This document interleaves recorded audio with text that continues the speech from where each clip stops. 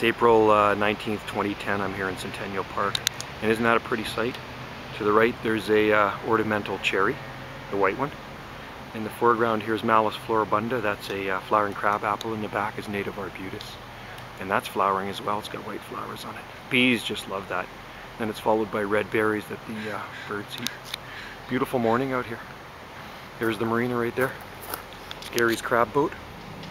Right there.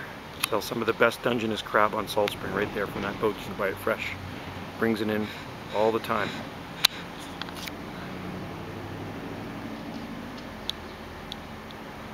Yeah, it's going to be a nice day.